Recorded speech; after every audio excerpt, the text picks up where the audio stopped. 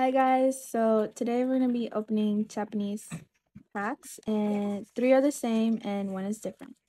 Okay, so we're, we'll start with this one.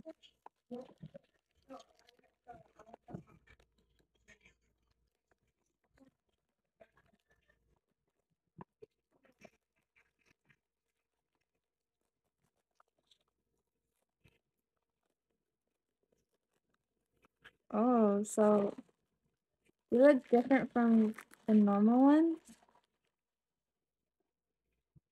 I don't know if they work the same way. So, uh, I'm just, I'm just gonna go with this. Okay, so we have this one. What it's called. We have this one, You're good. trainer card. We have this, another who- trainer. Who we getting at? Ooh, this one's, this one's pretty cool.